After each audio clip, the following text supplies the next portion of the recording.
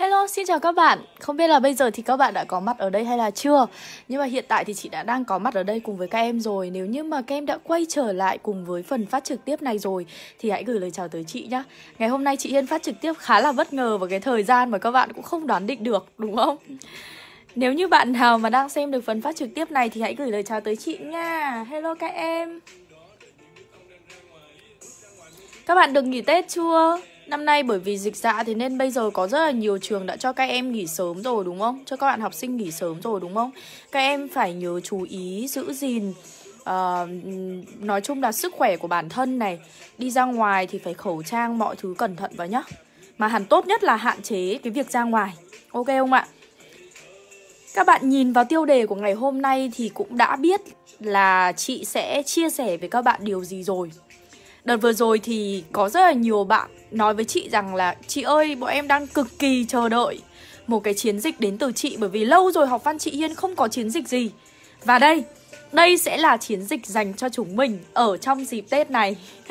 Mặc dù chị biết rằng thời gian Tết ấy là cái thời gian mà đáng lẽ phải để cho các bạn được vui chơi thoải mái mới đúng.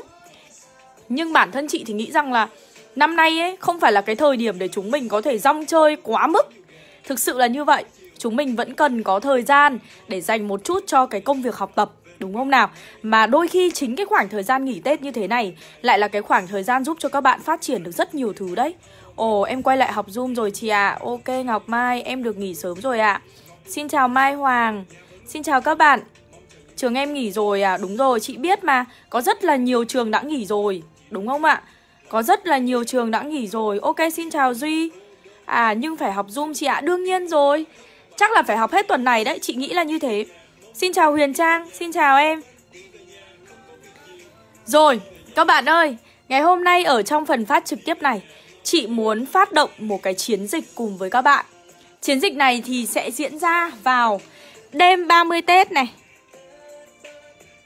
Được không ạ? Tức là mùng 1 Tết sớm. Ok chưa? Sau đó là mùng 2 Tết này sau đó là mùng 3 Tết. Được không ạ?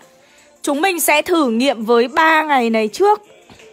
Và chiến dịch này mang tên là Khai bút đầu xuân gặp nhiều may mắn. Ở trong chiến dịch này, Chị sẽ cùng với các bạn đi về một vấn đề mà chị tin rằng có rất là nhiều bạn cực kỳ băn khoăn. Đó là chúng mình sẽ cùng luyện viết các em nhé. Chúng mình sẽ cùng luyện viết. Được không nào? Chúng mình sẽ cùng luyện viết nhá. Gọi là khai bút mà. Được không nào? Gọi là khai bút mà. Chúng mình sẽ cùng luyện viết. Được không ạ? Và ở trong cái phần luyện viết này Ở trong ba cái buổi này Buổi 1, buổi 2, buổi 3 Có thể đề sẽ là nghị luận xã hội. Có thể là đề sẽ là một cái đề nghị luận văn học Nhưng mà ở dạng đoạn văn thôi, ngắn thôi. Và chị em mình sẽ cùng nhau luyện viết Ở trong 3 ngày này. Chị biết rằng là có rất là nhiều bạn ấy bảo là, thôi chị ơi, sắp Tết rồi, chị cho bọn em yên đi kiểu thế. Nhưng mà có bạn nào sẵn sàng tham gia cùng với chị không? Có bạn nào sẵn sàng dành 30 phút đến 45 phút của mình trong cái thời gian nghỉ Tết này để tham gia cùng với chị không? Chị dự định ấy là sẽ chỉ đồng hành cùng với khoảng 300 bạn thôi. Bởi vì thường ấy cái số 300 đối với chị ba ở đây là một cái số rất là may mắn. Thế nên chị chỉ dành gọi là chỗ cho 300 bạn để tham gia chiến dịch này thôi. Coi như là một cái món quà đầu xuân chúng mình tự dành cho bản thân và dành cho nhau nữa. Còn đương nhiên là ở trong cái buổi đó có gì Luyện viết như thế nào, hướng dẫn ra sao Thì cái phần đó các em yên tâm. Chị sẽ chuẩn bị tất cả mọi thứ để các bạn có thể tham gia thôi.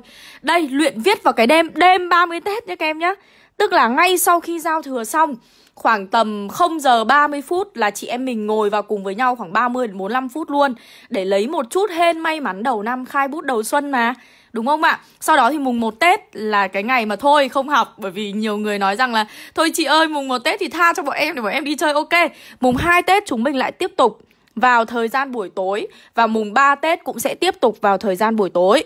Ok chưa ạ? Thì lịch cụ thể như thế nào khi mà các em được tham gia vào group chiến dịch rồi thì các bạn sẽ thấy cụ thể vào trong đó. Nhưng nhá, chị nói trước, đây là chiến dịch mà bản thân chị muốn ấy là tất cả các bạn khi đã quyết tâm tham gia rồi là các em sẽ phải tham gia đến cùng. Được không ạ? Đừng đừng đừng lấy chỗ của người khác, đừng tranh chỗ của người khác mà sau đấy mình lại vì cái sự lười biếng của mình mà mình không không tham gia. Được không? Đây là lần đầu tiên chị Hiên mở chiến dịch về luyện viết Thế nên là rất mong các bạn có thể nhiệt tình tham gia vào chiến dịch này Còn cụ thể làm thế nào để có thể tham gia vào chiến dịch này Thì các em hãy chờ đón bài viết ở trên fanpage Học Văn Chị Hiên nhá Ở đây có bạn nào sẵn sàng tham gia cùng với chị không? Rồi, thấy rất là nhiều bạn ở đây đang nói rằng, em chị ơi, Rồi ok, Đào Đình Hân này, Xịn quá chị ơi và Lan Anh này, Nào có bạn nào muốn tham gia cùng với chị không? Các em ơi, có bạn nào muốn tham gia cùng với chị không?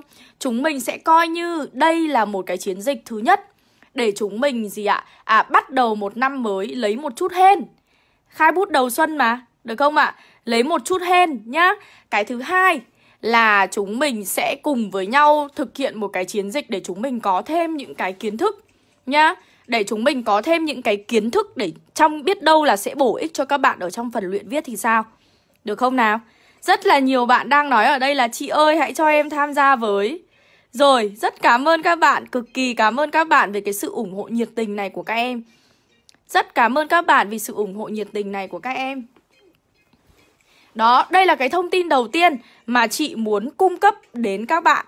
Yên tâm, trong 3 ngày này sẽ không phải là ba cái ngày mà uổng phí của các em đâu.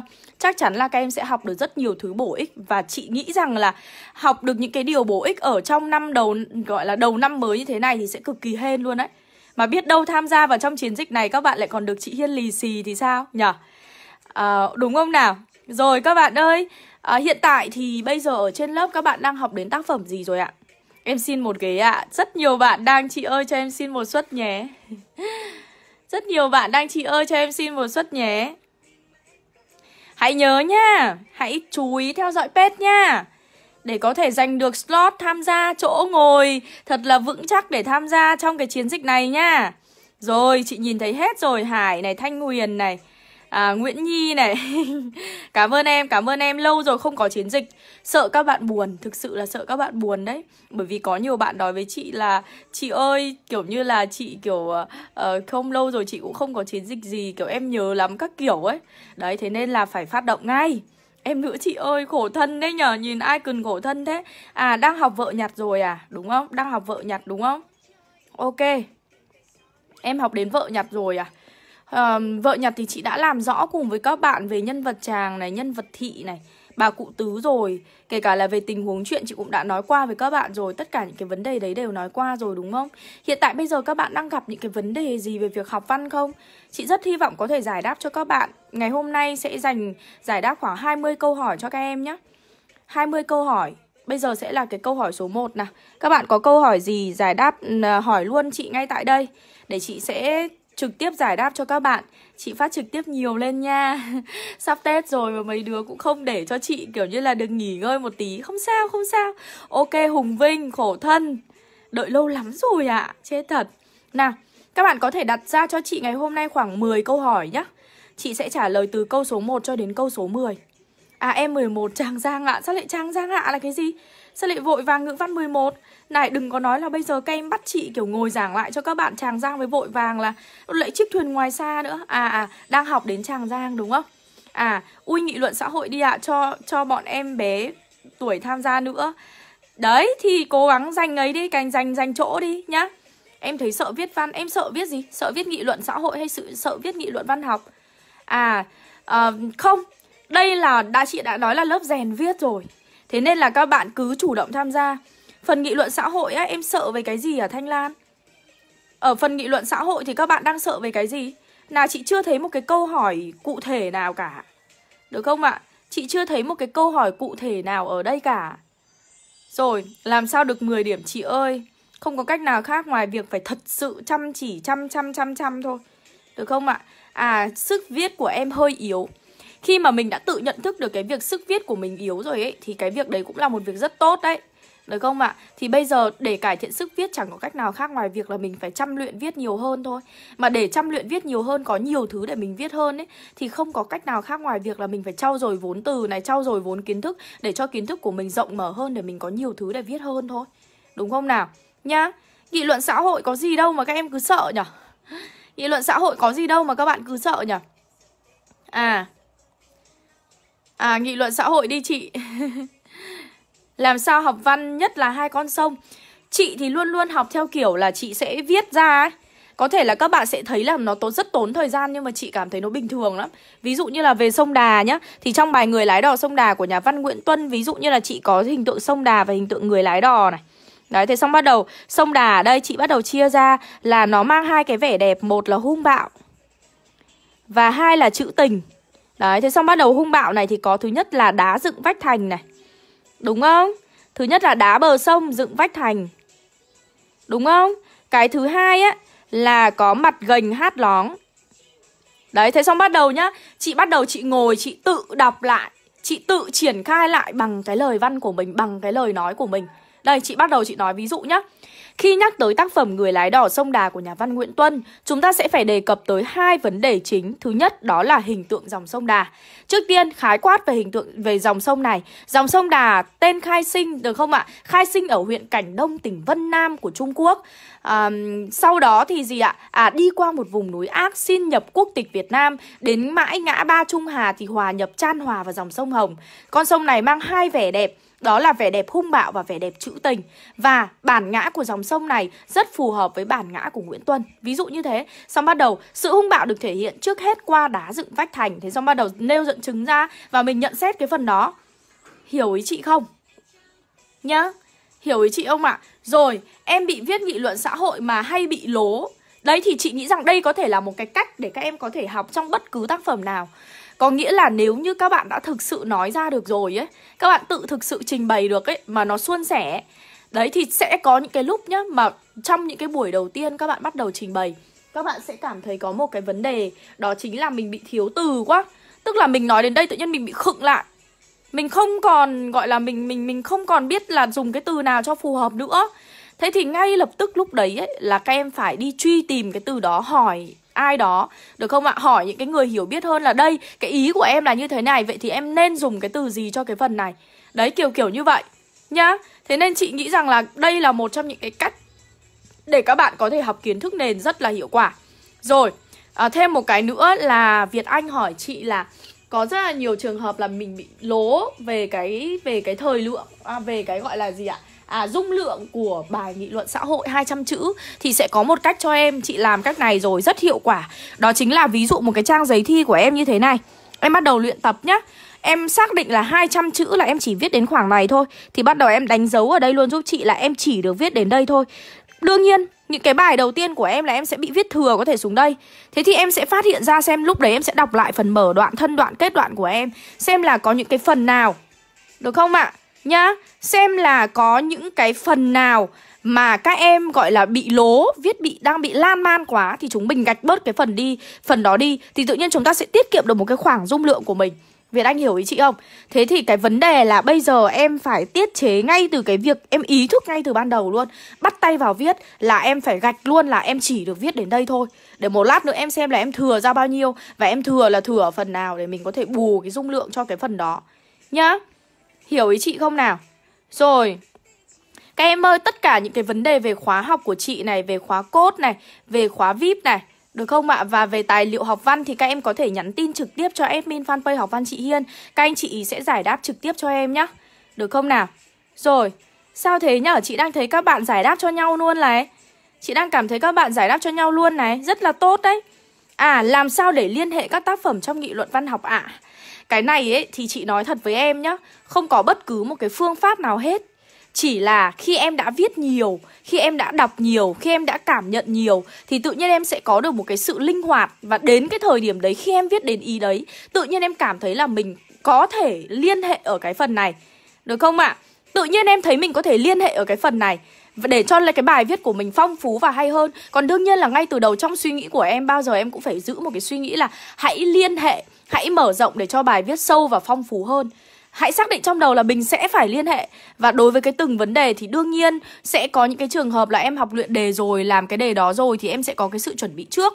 Nhưng cũng có những cái đề mà em chưa được học qua Thì bắt buộc là em sẽ phải dùng cái sự linh hoạt của mình để liên hệ vào cái phần đó. Được không ạ? À? Mà đương nhiên để liên hệ được ấy, Thì chắc chắn là các bạn phải có vốn kiến thức. Chứ không thể nào liên hệ theo cái kiểu là các em tự chế ra thơ, Các em tự chế ra nhận định để đưa vào được.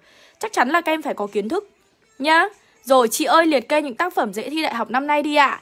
Nói chung cũng sơ sơ thôi Bao gồm 5, 5 tác phẩm thơ và khoảng 8-9 tác phẩm văn xuôi gì đấy thôi. Đấy trong khoảng đấy thôi Nhá. Chỉ trong khoảng đấy thôi chứ cũng không không nhiều đâu. Rồi Chào buổi trưa em. Chị phát trực tiếp sắp xong rồi Giờ mới chào buổi trưa chị ở Trần Châu. À Em không nhớ Em không thêm được lý luận văn học Với lại không nhớ hết dẫn chứng. Chị chị có cách khắc phục Em à, gì đấy. Chị giúp em cách khắc phục với ạ. à. Dạo này em hay bị đưa quá nhiều dẫn chứng lý luận. Vậy thì tiết chế lại ngay lập tức đi em ơi. Tiết chế lại ngay lập tức đi. Rồi. À, Nếu như cái việc mà các bạn kiểu nhiều khi các bạn không viết Tức là bản thân các bạn cảm thấy mình cái sức viết của mình không được nhiều hoặc là mình khó để nhỡ dẫn chứng ấy thì hãy học theo cái cách mà chị vừa nói với các bạn. Không có cách nào khác là ngoài cái việc như thế này. Tự gạch ra tự ghi ra dù tốn thời gian cũng được mất bao nhiêu lần cũng được sau đấy tự trình bày lại bằng lời nói của mình được không ạ? Tự trình bày bằng lời nói của mình không có cách nào khác đâu. Nhá. Được không nào? Hãy lưu ý giúp cho chị cái đó. Được không? Rồi, hãy giúp cho chị, lưu ý giúp cho chị cái đó. Trời ơi, chị lướt lên quá nhiều các cái câu hỏi của các bạn ở đây Và thực sự là không biết làm thế nào để có thể giải đáp được hết tất cả những cái vấn đề đó trong các bạn. Trời ạ. À. Trời ơi trời ơi, nhiều câu hỏi quá. Chị đang chóng hết cả mặt, hoa hết cả mắt. Rồi các bạn ơi, Tình hình là như thế này Chốt lại cái vấn đề là thứ nhất, Sắp có chiến dịch mới, đó là chiến dịch khai bút đầu xuân gặp nhiều may mắn. Và chiến dịch này chỉ dành cho 300 bạn thôi. Thế nên hãy thường xuyên theo dõi fanpage Học Văn Chị Hiên để có thể cập nhật về cách tham gia và dành cho mình một tấm vé để tham gia cái chiến dịch này. Được chưa ạ? Đây là chiến dịch luyện viết của chúng ta nhá. Nhiều câu hỏi quá. Thôi được rồi, các bạn cứ cứ cứ đặt ra các câu hỏi đi và nếu được chị sẽ chọn ra những câu hỏi hay và chị sẽ trả lời bằng một cái bài viết cho các em nhá. Được không ạ? À? Chị sẽ sẽ lựa ra một một cái câu trả lời hay những cái câu hỏi hay và chị sẽ trả lời cho các em ở trong một cái bài viết gần nhất, được chưa nào? Còn trong khuôn khổ của ngày hôm nay thực sự là không thể nào trả lời hết được. Nhá. Ôi nhiều câu hỏi quá. Trời ạ. À. Đấy, xa rời chị một thời gian cái là bây giờ bao nhiêu câu hỏi ngay Nhưng thôi, túm lại là như vậy nhá Được không ạ? À? Và túm lại là trong cái dịp Tết này Nhanh nhanh chóng chóng đặt sách của học văn chị Hiên về ôn ngay lập tức Bởi vì chị thấy ở đây vẫn thấy các bạn thiếu rất là nhiều thứ được không ạ? À? Chị thấy các bạn đang thiếu rất là nhiều thứ luôn Còn đương nhiên rồi, cái chiến dịch này là chiến dịch miễn phí cho chúng mình Tất cả đều có thể tham gia Nhưng mà chỉ giới hạn là 300 bạn thôi đấy Chị xin lỗi nhá 300 bạn thôi Nếu như các bạn đang bị thiếu về mặt phương pháp Đang muốn luyện đề Đang uh, thiếu yếu về mở bài Về mọi thứ Thì các em hãy nhắn tin cho admin fanpage học văn chị Hiên Để được tư vấn sản phẩm sách tốt nhất nhé.